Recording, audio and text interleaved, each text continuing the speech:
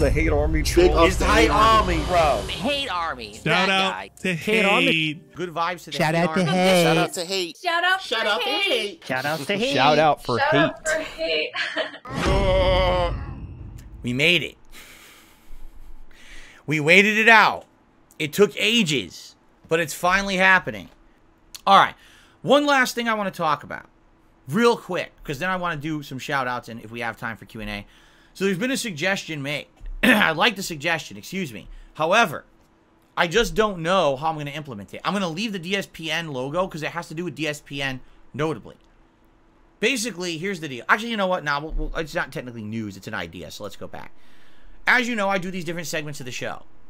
Correct? Sometimes a certain segment is the highlight of the show. Like that that story about Activision Blizzard buyout is pretty much a big highlight of the news segment of today, correct? That's what people probably want to know about the most if they were going to watch me cover news. Well, what's happened is I do this show once a day. It's a long podcast. It lasts anywhere from an hour to an hour and a half, and there's a ton of topics covered. Well, how do you find the content in the show you want to watch? Well, we have AI timestamps that every day get posted on the show. So if you're watching the news show, you're like, oh, I wonder what's in today's show. You check the description, you'll see all these AI timestamps. You'll be able to jump to what you want. But what some YouTubers have found very successful is if they run a podcast like me, they will do excerpts of certain topics and split those videos off as separate videos. So imagine if we did a podcast excerpt that was only five or 10 minutes long, just covering that buyout story and the Bobby Kotick leaving Activision Blizzard story. And that was a separate video, right? Simply putting that out on my channel, some people might find that and find the channel and watch that content and say, oh, I like that. So he covers news stories every day. I'm going to subscribe to that channel and I'm going to check these out every day, right? It's something that can genuinely add engagement and discoverability to a channel, all right? However, here's the problem, all right? As you know, I am one of the most prolific streamers out there. I'm here all day streaming. I'm here from 10 in the morning till almost 10 at night with a break in between for dinner, but I'm here constantly streaming. I don't just do one podcast and walk away for the rest of the day.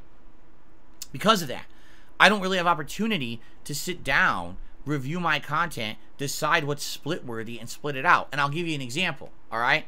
When I finish this stream, it ends at 4 p.m. That's around a six hour stream, and it takes YouTube, no exaggeration, hours to process that stream.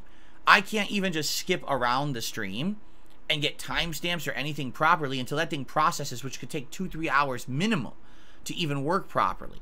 In addition, I don't know where the pertinent stories start and begin. I don't know what you guys would find to be the most pertinent stories. You know what I'm saying?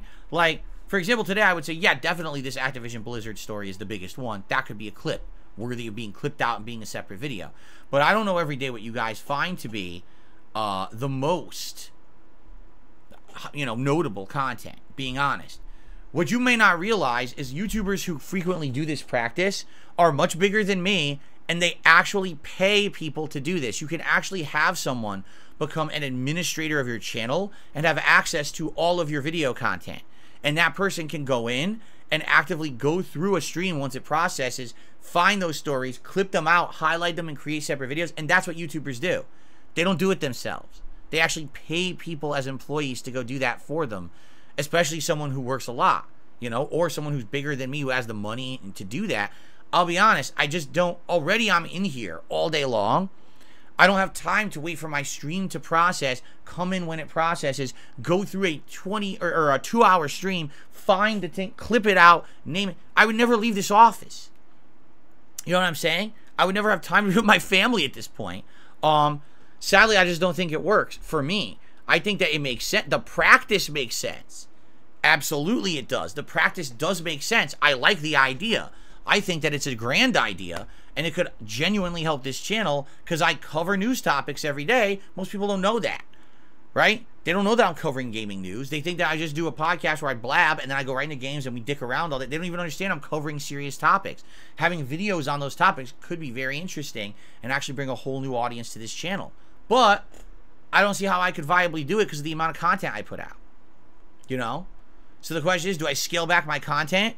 So now I have less time to stream games, but then I have time to edit news, right?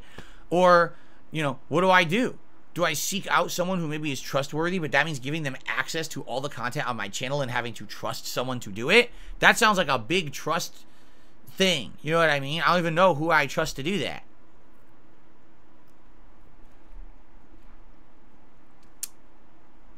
So, I'm going to have to think about it.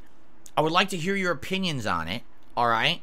What would you think? Do you think that would be a benefit to the channel? I like the idea. I seriously do.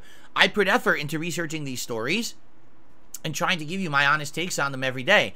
I wish more people knew about those takes besides people who just happen to watch the podcast every day. You know, it would be great to have those so- so- sorted out or separated out or whatever. Um, but I don't know. I, I don't know realistically how to make that viable. All right. So I'm open to suggestion. I'm open to opinion. I'd like to keep talking about this moving forward. You know what I'm saying? So let's see. Let's talk about it. Let's look into it and let's go from there. That, ladies and gentlemen, is all I have to talk about on today's show.